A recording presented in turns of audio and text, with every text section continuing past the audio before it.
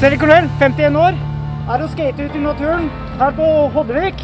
Her er det vått på bakken, regner ikke, dødsfett. Woo!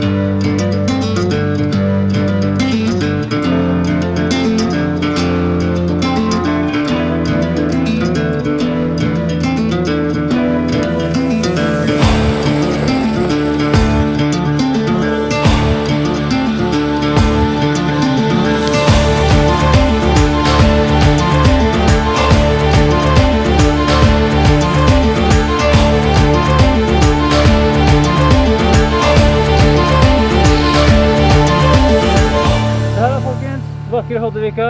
Jeg heter Rikard, kommer fra Bergen. Og i morgen skal jeg kjøre longboardkonkurranse på Klepp i Volda. Kom og se på, det er kjempegøy.